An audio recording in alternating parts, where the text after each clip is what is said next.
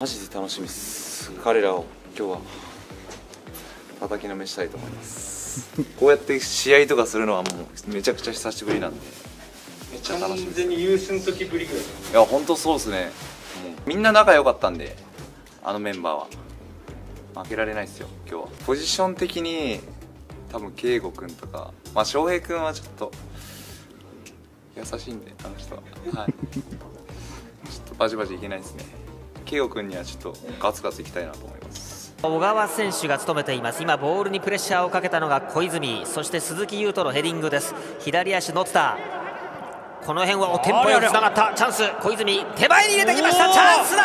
26点今シーズン取ってますんで。取りましたね、え今日も狙ってるんじゃないですかね。ーはい離さないようにね。リーグ屈指の左足キッカー福森外側まで持ってきましたが。いい判断ですあいいですよ。そして攻撃。まあ、実にジャイアントなパントキックであります。ですかね。ねあの法政大学でインカレ決勝まで行っている選手なんで、はい、これはすごいですね。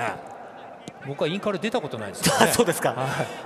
さて野津田のパスです。谷選手が中盤の、まあ、下がり目のポジションここに入ってます、うん。もうちょっとやればいいのにね。できますいねやーできますよ。はいさあウィナーズに対してテンポよく動かすホワイトタイガーボックス入ってきました。いや折り返しました。ホワイトタイガーもうこれも小泉絡んで野津田フェイクを入れて外。ー今シーズン良かったですからね野津田ね。はい。あいいですよ。うんぱ縦パスから。ささあ梅ちゃん上がった方がいいんじゃないの？右サイド。あ高いくおねーっと。ファールですね。これは戻った野津田のファールです。カードか？カードは出ないですね。出ませんね。はちょっとボールサイドは熱くなります、まあ、このでも高のねドリブルは福田さんウィナーズの武器ですから。もう大きな武器だと思いますね。ねを狙ったプレッシャーちょっと受けてますけど、はい落ち着いてプレーすれば十分できますから。さああっと右のサイド抜けて金子が上がった。チャンス小川幸輝あのシュート打たれても点取られなきゃいいんですからね。はい。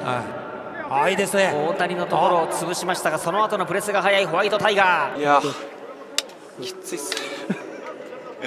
楽しかったっす。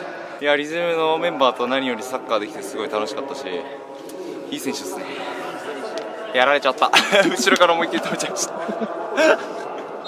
いやマジで楽しかったです本当に。勝ちたかったですけど。はい。